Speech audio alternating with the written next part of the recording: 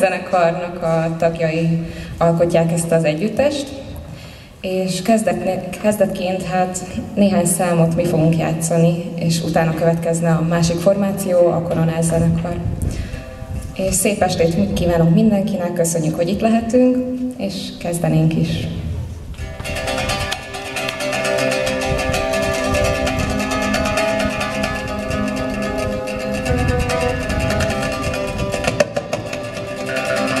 Thank you.